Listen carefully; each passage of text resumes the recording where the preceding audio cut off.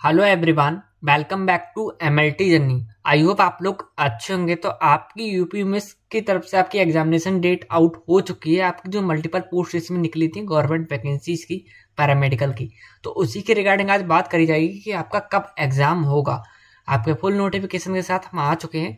तो हमारे चैनल को आप सब्सक्राइब करना ना भूलें। यहाँ पे दिया गया है, Uttar Pradesh university of medical science जो कि आपका सैफे इटावा उत्तर प्रदेश में स्थित है।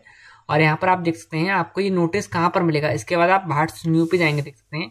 इसमें वाट्स न्यू आ रहा है। इसके बाद आपको यहाँ पे देखने को मिलेगा। इसके बाद थोड़ा आप थोड़ा नीचे स्क्रॉल करेंगे। यहाँ पर रिक्वायरमेंट है नर्सिंग अफसर रिक्वायरमेंट सी बी है। इसके बाद मल्टीपल पोस्ट रिक्वायरमेंट दो हज़ार चौबीस है। इस पर हम जब क्लिक करेंगे क्लिक करने के बाद कुछ ऐसी विंडो हमारे सामने आ जाएगी। यहाँ पर जाने के बाद हमारे आप देख सकते हैं इसमें सबसे पहले हमारी यहाँ पे थी apply for multiple post requirement दो हज़ार चौबीस, जो कि चार नंबर पे यहाँ पे दे रखी है। यहाँ पर। इसके बाद सिलेबस आपका दे रखा है सीबीटी 2024 का जो होगा।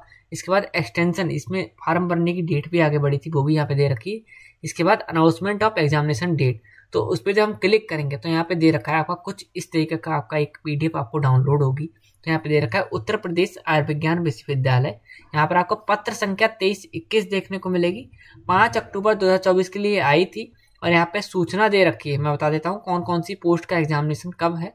तो यहाँ पे दे रखा है विश्वविद्यालय के विज्ञापन संख्या अड़तीस यूपीयू में रिक्वायरमेंट सेल 2024-25 के बारे में यहाँ पे बात की जा रही है। तो के माध्यम से विभिन्न पद थे उसमें, जैसे सीनियर एडमिनिस्ट्रेटिव असिस्टेंट था स्टेनोग्राफर की पोस्ट थी जूनियर मेडिकल रिकॉर्ड अफसर की पोस्ट थी। इसके बाद फार्मासिस्ट ग्रेड सेकंड की भी उसमें पोस्ट देखने को मिली थी। Junior physiotherapist, junior occupational therapist. जो पोस्ट निकली थी, उसकी वीडियो मैंने अलग बना रखी है। आप जाके देख सकते हैं, वीडियो डिस्क्रिप्शन में आपको लिंक मिल जाएगी। इसके अलावा यहाँ पे दे रखा है, पर भर्ती हेतु कंप्यूटर बेस्ड टेस्ट निम्न कार्यक्रम के अनुसार आयोजित किए जाएँगे। तो यहाँ पर डेट दे रखी है। यहाँ पे देख लीजिए, आपका सैटरडे को एग्ज़ाम है, उन्नीस दस दो हज़ार चौबीस को एग्ज़ाम होगा।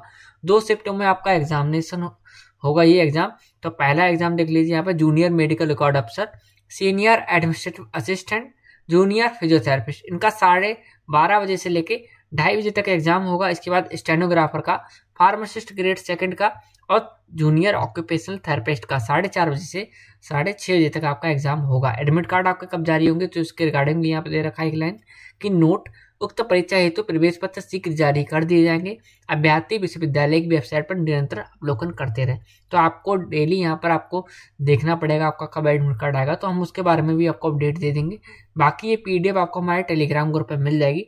टेलीग्राम ग्रुप का ना लिंक आपको इस वीडियो के डिस्क्रिप्शन में आपको मिल जाएगी। ऐसी अपडेट के लिए हमारे चैनल लाइक करें सब्सक्राइब करें शेयर करें। बाकी यूपी में इसकी वेबसाइट पर आप जाकर सर्च कर सकते हैं अच्छे से। बाकी ये नोटिस मैं अपने टेलीग्राम ग्रुप पे भी अपडेट कर दूँगा। चैनल को सब्सक्राइब करना ना भूलें। Thank you